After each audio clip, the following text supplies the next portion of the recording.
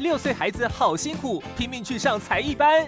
三岁的时候，我先让他上了 MV 舞蹈班，只要幼稚园有有提供，我都让他去。某一天，他突然突然跟我讲说：“妈妈，你出去好吗？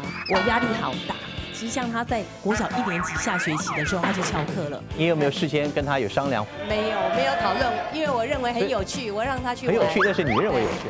今天晚上九点钟，爸妈熊很大。